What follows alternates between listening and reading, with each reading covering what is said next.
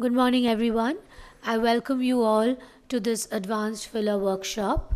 Our international faculty, Dr. Patrick Trévidic. Pleasure to be here in India. I love this country. I went a lot here. Where are the anatomical dangers? Look at this livedo here. Forget that there were this artery in the nasolabial fold, an HA embolism.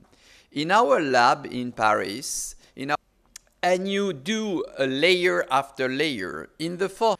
To do a safe injection, we have to have the knowledge of the 3D anatomy. So you remember for the forehead, we have the skin, and doing an injection like you see on the left side. It's a patient who came to me and said to me, I'm fed up with this. Can you do something for me?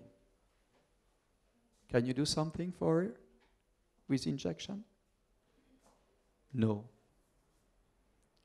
And this facial artery is deep and is going up to the nasolabial fold, along the nose, in the nasojugal groove here, and after on the lateral side of the nose, perforating the depressor supercilii to be deep, going deep here, and become superficial here.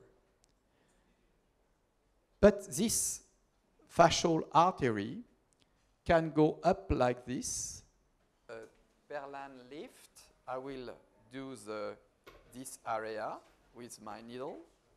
And here, I will use with my cannula, you know, my injection to do my marionette line, the bone. I feel it.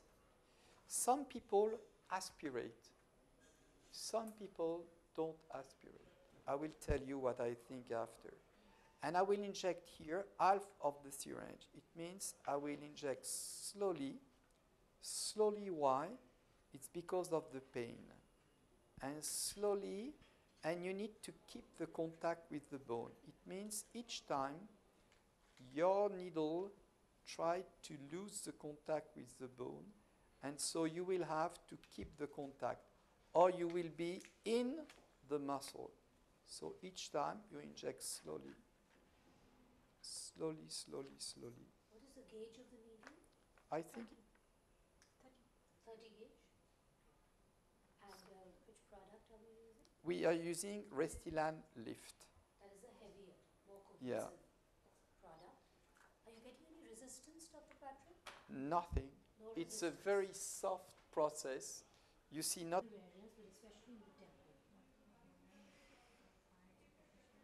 You can go always fast for your technique, but very slow for your injection. Like this, the lido has time to be there. The patient will good products in a good layer. So now we'll do the forehead. So you remember, my security line of the forehead will be two centimeters above my orbit margin. And I will go deep. I touch the bone here slide on the bone, inject slowly 0.2.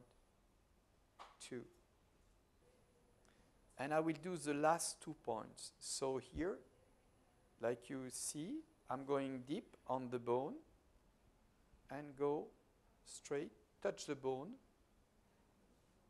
and I do my injection. Normally, I don't do it now, but normally you have to turn to the lowest peak you remember of my jaw. And I will introduce my needle, and I keep my needle very superficial. So here you see I'm very superficial. Short injection because I don't want to inject too much. So I inject here.